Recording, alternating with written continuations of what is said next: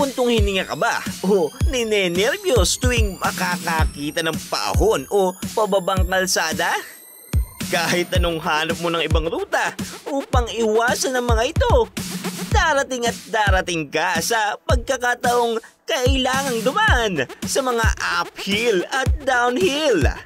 Musta ka tanglaw? Sana all ay may automatic transmission. Halina't mas kilalanin pa natin ang iyong minamahal na kotse. Mula sa mga nakapapanabik na kakayanan hanggang sa kung paano epektibo at ekspertong gamitin ito. Buckle up your seatbelts at huwag nang magpatumpik-tumpik pa. Pero bago lahat huwag kalimutang mag-subscribe. Pindutin ang notification bell para sa iba't ibang tanglaw.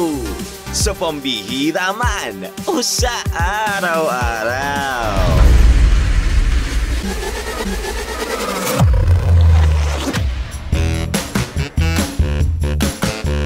Balikan muna natin ang basics at balik tanawin ang wastong paggamit ng gas at brake pedal.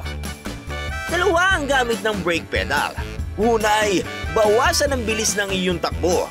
Upang magminor, kailangang tapakan ng gas pedal ng dahan-dahan at bahagya.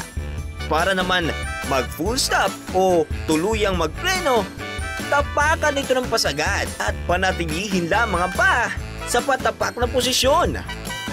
Hanggang nakatapak ka dito, hindi aandar ang kotse.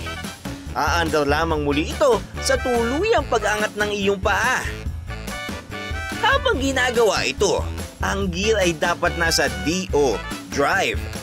Kapag nasa D ang iyong gear, kusa na ang iyong pag-andar na may bilis na 10 hanggang 20 km kada oras.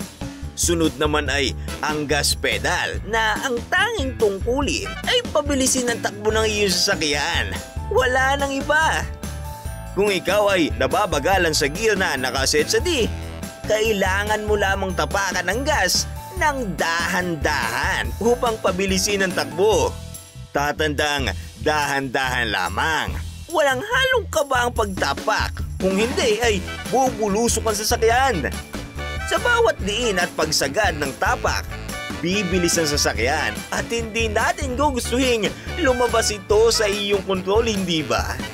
Mapapansing hindi mo rin naman ito kakayaning tapakan sa kasukdulan. Maliban na lamang siguro kung race car ang iyong sasakyan.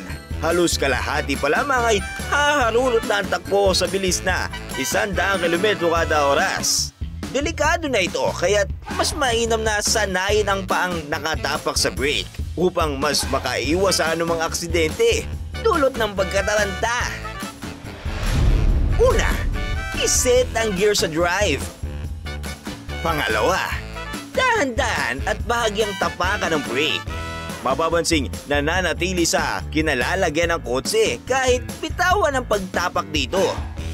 Isang astig na kakayanan ng automatic transmission. Ang ikatlo, kapag nasa matarik na bahagi, makikitang bumabagal na ang pag-ahon o halos hindi na umaandar ang sasakyan. Hindi ito kakayaning mas umahon pa kung walang karagdagang superpowers. Tandaan niyo ang gagawin? Tama! Kailangan gamitin ng gas. Tapakan ito ng bahagya at paunti-unti upang umangat. Kapag hindi sumapat ang gear na D sa sobrang matatarik na kalsada, gaya ng sa mga bundok, maaaring iset ito sa 1 o primera para sa mas mabilis na pag-ahon. Paalalang panatilihin na sa ibabaw ng brake ang isang pa upang mas ligtas. Huwag alisin dito pa. Maliban na lamang kung hirap na hirap ng umahon na sasakyan mula sa matatarik na kalsada hanggang maaari kung kaya ng di ang taas, ito lamang ang gamitin. I-steady at isagad lamang ang pagtapak sa brake dahil kung hindi sapatan din, pababa at mahuhulog ang sasakyan palikod. Kapag kinailangan ng gumalaw, mabilis na ilipat ang pa mula sa brake papuntang gas. Saka dahan-dahang tumapak sa gas. Kapag pumatag na ulit ang kalsada at hindi na patas, saka bawasan ng din ng pagtapak sa gas. Hindi gaya ng paahon. kadalasang hindi mo na kailangang gumamit ng gas kapag pababa ang daan dahil gravity ng bahala dito. Kusa nang bumibilis na sasakyan kapag pababa. Tanging pag-alalay na lamang sa iyong speed ang gagawin o pagme-menor-menor. Apak bitaw, apak bitaw lamang. Kung nasa pababang kalsada, halimbawa sa kabigatan ng trapiko, panatilihin lamang ang madiin at tapak sa brake upang hindi mahatak pababa.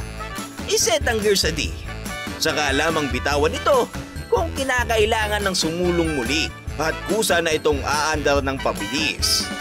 Kung palagay mong masyadong mabilis ang iyong pagbaba, tapak-tapakan ng paunti-unti ang brake pedal o pagminor upang bumagal ng sasakyan. Ayan lamang sa ngayon. Kung nag-enjoy ka at namangha, huwag kalimutan mag-iwan ng thumbs up at i-share sa pamilya at mga kaibigan upang magsilbing tanglaw tungo sa kaalaman. Takits!